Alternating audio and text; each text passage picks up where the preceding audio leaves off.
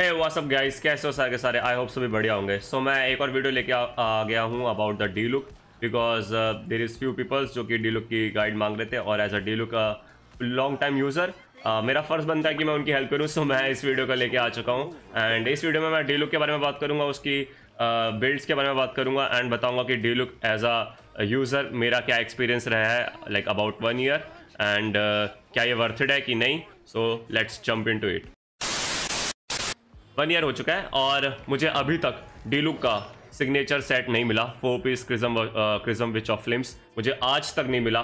तो तुम समझ सकते हो कि मैं कितना अनलकी हूँ डीलुक के मामले में। तो अब बात करते हैं बिल्ड की। तो बिल्ड में सबसे पहले मैं बात करता हूँ वेपन की। तो वेपन में बहुत सारे ऑप्शन है। तो वेपन में बहुत सारे ऑप्शन है। You can use any five star but there is only three five star weapon जो कि काफ़ी बढ़िया डीलुक के लिए वो है W G S wolf grave stone unforged and the red horn जो कि बहुत ही नया नया वेपन है इतो का। तो there is only three five star weapon जो कि काफ़ी बढ़िया है। But if you don't have any three of five star weapon you can use four star weapon four star में सबसे बेस्ट वेपन जो है वो है serpent spine this weapon is really good on Diluc इसके स्टैक्स मेंटेन करना थोड़ा सा हार्ड होता है but you can use any shield of shield character और ये काफ़ी इजिली हैंडल हो जाएगा।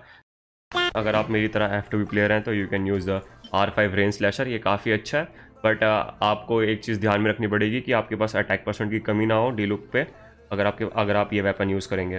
Plus you can use rain slasher this weapon is also good इसका पैसिव काफ़ी अच्छा है अटैक बूस्ट करता है एंड क्रिएट डैमेज मिलता है with the high base attack weapon and या ये मल्टीपल एनिमीज़ के अगेंस्ट काफ़ी अच्छा है। जैसे इसका पैसिव जनरेट होता है तो काफ़ी ओपी डैमेज देखने को मिलता है। And you can use luxurious sea lord अगर आपके पास ब्लैक uh, क्लिफ नहीं है या फिर रेन स्लैशर नहीं है तो आप लग्जीरियस लॉड यूज़ कर सकते हो या फिर प्रोटोटाइप यूज़ कर सकते हो या फिर लिथिक ब्लेड ये गाचा से मिलेगा आपको ये भी काफ़ी अच्छा वेपन है इसमें भी काफ़ी अच्छा अटैक परसेंट मिल जाता है सभी बेस अटैक काफ़ी अच्छा है If you are early game player, you can use uh, Bloodstain Great Sword. This weapon is really good. और you can use a Debate Club. अगर आप में से अगर आपके पास इन दोनों में से कोई भी एक है तो आप इस्तेमाल कर सकते हो काफ़ी बढ़िया है तो मैं बहुत ही अनलकी हूँ four piece crimson witch of flames जो कि सिग्नेचर आर्टिफैक्ट है डिलू का, वो मुझे आज तक नहीं मिला।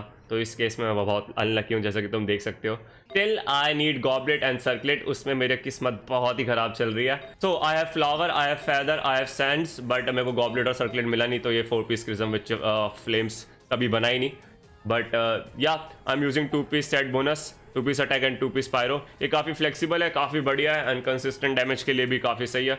Uh, so yeah but still the best set is a uh, 4 piece schism witch of flames you can use 2 piece attack and 2 piece pyro you can use uh, 2 piece pyro के साथ 2 piece uh, wander और 2 uh, piece attack के साथ 2 piece wander आप चाहो तो वो इस्तेमाल कर सकते हो काफ़ी बढ़िया है अगर आप अर्ली गेम में हो तो आप अर्ली गेम में टू पीस रेजोल्यूशन यूज़ कर सकते हो और फोर पीस बिजर्ट सेट भी यूज़ कर सकते हो या फिर आप two piece set bonus instructor का यूज़ कर सकते हो डीलुक के ऊपर और you can use the four piece set of brave heart ये भी काफ़ी बढ़िया है।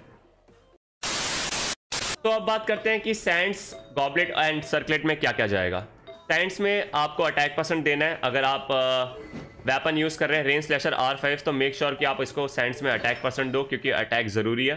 गॉबलेट में आपको पायरो डैमेज गॉबलेट ही जाएगा। पायरो डैमेज गॉबलेट इसलिए जाएगा क्योंकि ये बहुत ज़रूरी है। अगर आपके पास ये नहीं है तो आप इस्तेमाल कर सकते हो अटैक एंड यहाँ पे क्रेट रेड या क्रेट डैमेज अगर आपके पास ये नहीं है तो यहाँ पे आप अटैक यूज़ कर सकते हो। अब बात करते हैं आर्टिफिक सबसेट्स प्रायोरिटी तो ये इसको क्रेट रेड क्रेट डैमेज चाहिए एलिमेंट मास्टर अटैक परसेंट चाहिए। इसकी ये प्रायोरिटी है। तो ये तो थी आर्टिफिक्स की बात। तो चलिए अब बात करते हैं कि अबाउट कॉन्सलेशन तो डीलू का सी है मेरे पास राइट नाउ तो सी काफ़ी बढ़िया है। ये मेरा मेरा डैमेज बढ़ा देता है उनके अगेंस्ट जिनका 50 परसेंट हेल्थ कम हो एनिमीज़ का।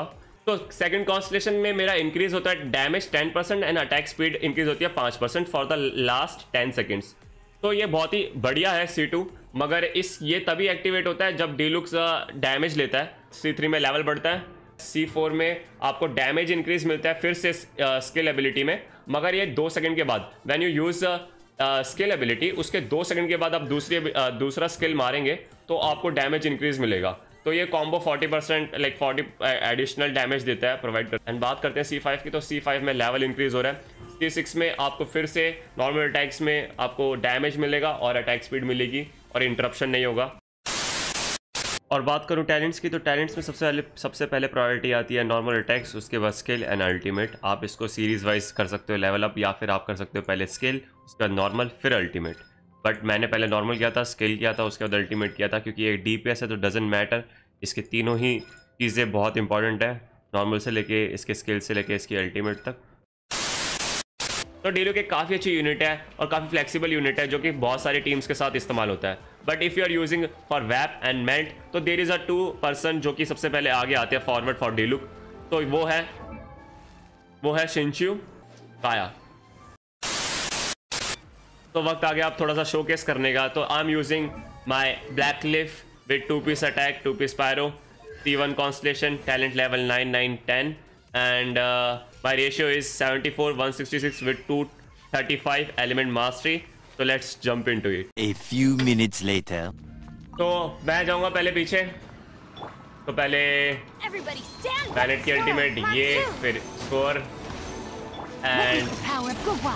Boom boom Time for retribution!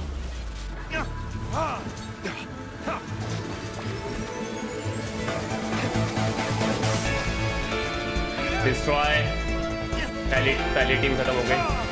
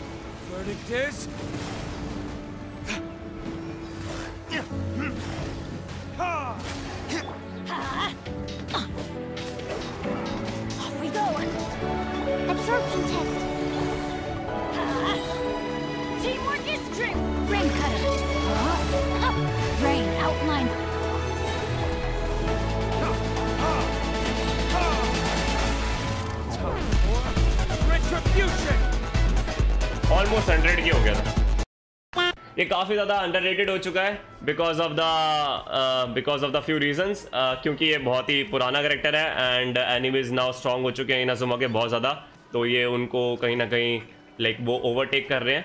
But still you can use him if you are investing on him so much because you guys know it कि डी लुक काफ़ी बढ़िया करेक्टर है काफ़ी flexible है and काफ़ी लोगों के पास है भी ये करेक्टर सो so, एक और रीज़न ये बनता है इस वीडियो को बनाने का और उनकी हेल्प करने का। क्योंकि ये एक कॉमन स्टैंडर्ड बैनर करेक्टर है so yeah he is our Batman the Dark Knight Diluc hey watch out man hey watch it hey hey talking हाँ तो still this is our Batman Diluc तो इसके लिए इन्वेस्टमेंट तो बनती है. तो if you love this character you can invest on him and he become really really powerful man